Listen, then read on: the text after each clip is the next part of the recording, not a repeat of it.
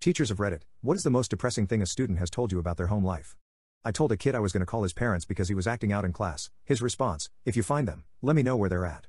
My students were debating on what hurt the worst when being beaten by their parent. The whole conversation was disturbing to say the least, but one kid won when he mentioned the cord for the television. He even stood up and proved it by removing his shirt and showing the scars. Looked like Django. It went from students laughing to complete silence and then crying.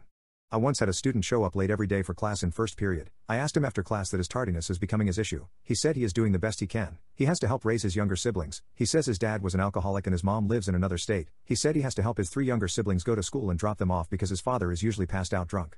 This was a few years ago. This student came into class one day really late and escorted my some official. He threw his bag on the ground and sat in his seat frowning. Turns out the day before, he went home and his foster parents had decided they no longer want him. So he went into the care of social services. Everything about this child went downhill from there. I was also in an interview with a mother and her son, and she straight up tells us that she's not too concerned about her son as he's not her favorite child. The defeated look on her son's face still